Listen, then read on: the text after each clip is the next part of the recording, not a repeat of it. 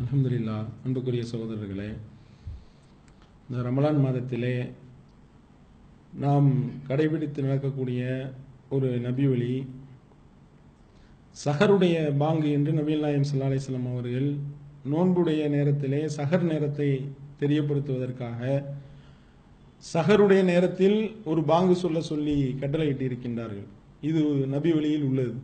ஆனால் பல பேருக்கு வந்து இந்த நபி வழியை ஃபாலோ பண்ணுவதோ இப்படி ஒரு நபி வழி இருப்பது பல பேருக்கு தெரியாமல் இருக்கின்றது.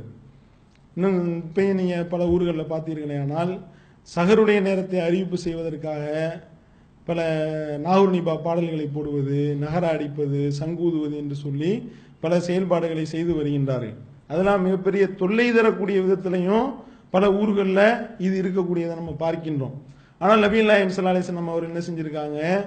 சகருடைய நேரத்தை அறிவிப்பதற்காகவே பிலால் அலிலான் அவர்களை பாங்கு சொல்ல சொன்னார்கள். புகாரில் அறுநூத்தி இருபத்தோராவது செய்தியாக இந்த இலக்கத்தில் இந்த செய்தி பதிவு செய்யப்பட்டிருக்கு. பிலால் அலிலான் அவர்கள் பாங்கு சொல்வார்கள். சகருடைய நேரத்திற்கான பாங்கு இது ரசூல் சல்லாஹன் சொல்றாங்க. இது எதுக்கு தெரியுமா இந்த பாங்கு? தூங்கி கொண்டிருக்கக்கூடியவர்களை எழுப்புவதற்காகவும் அவர்கள் விடுத்துக் கொள்வதற்கும் இன்னும் இரவு துணையில் ஈடுபட்டு இருக்கின்றார்களே அவர்களுக்கு சகர் செய்யக்கூடிய நேரம் வந்துவிட்டது என்ற ஒரு விஷயத்தை உணர்த்துவதற்காகவும் இந்த பாங்கு சொல்லப்படும் என்று நபியல் நாயம் சல்லா அலிஸ்லாம் அவர்கள் இந்த பாங்க பிலால் அலிலான் அவர்களை சொல்ல சொன்னார் என்ற செய்தியை நாம் பார்க்கின்றோம். பிலால் அலிலான் அவர்கள் ஒரு பாங்கு சொன்ன உடனேயே நீங்க வந்து அது ஏதோ சுபுகுடைய பாங்கு என்று நீங்கள் தப்பா விளங்கிக்கிறாதீங்க. ரசூல் சல்லா அலிஸ்லாம் சொல்றாங்க.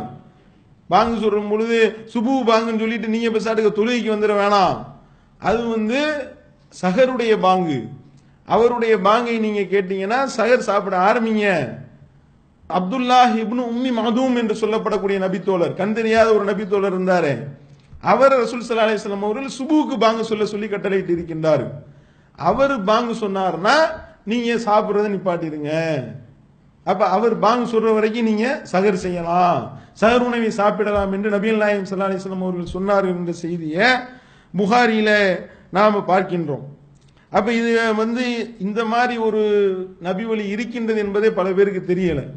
தெரியாமல் என்ன செய்கிறாங்க அவங்க வந்து அதுக்கு மாற்றமான செயல்பாடுகளை செய்யக்கூடிய நம்ம பார்க்கின்றோம். தமிழ்நாடு தவி ஜமாத்தினுடைய மர்கசுகள்ல இந்த நபி ஒளி சரியான முறையில் பேணப்படுகின்றது. இந்த நபி ஒளியை பேண் நடக்கக்கூடிய மக்களாக உள்ள இறைவன் நம் அனைவரையும் ஆக்க வேண்டும் என்று கேட்டு நிறைவு செய்கின்றேன்.